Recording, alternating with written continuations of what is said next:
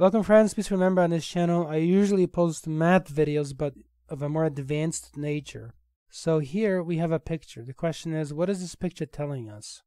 Well, let's figure it out. So look at this surface. I plotted this. This is the surface that makes x and y, okay, equal the product. So specifically what I have is this, really what I'm asking.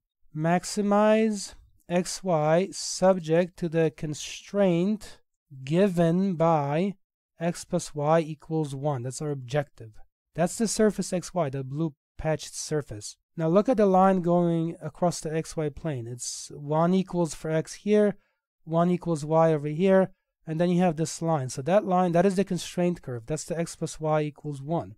So then we have this arc going across the surface. What is that? How do you think about it? Well, go back and look. We have a is equal to xy, and we are told that x plus y equals 1. So the constraint is this and x, y is a quantity to be constrained by this in terms of, for example, the maximum value. So then what we do, of course, is we write a is equal to x, and then you replace y there with 1 minus x from x plus y equals 1. So let's stop for a second and think about what we've written. In other words, simplify this. This is x minus x squared, correct? It's a function of x alone. What it represents essentially then is this right here. See this? x minus x squared that would be that arc across the surface right there. You see? It's that. This arc this way. See this?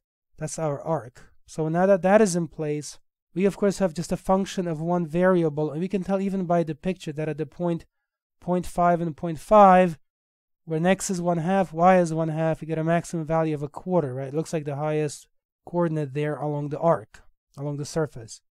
So Let's do it mathematically. So a prime you differentiate as usual, right? It is just a function of x. So 1 minus 2x, then you take 1 minus 2x that equal to 0. So then x is equal to 1 half. But again, the picture shows that this is so already because x equals 0.5 is what I have right there where I'm pointing with my cursor. And then, of course, this implies that y is equal to 1 minus a half, which is also equal to a half. So that means we are right there at 0.5 in terms of y. So we have our x and we have our y. Now we just have to find the corresponding coordinate along the arc. So how do you do that? Well, remember, we are looking for x, y max, right? I'll use those symbols, the maximum of the product of x and y. So in our case, that would appear to be basically a half times a half, which is a, a quarter. And again, our picture already shows that that's the case, isn't it? It's a quarter right there.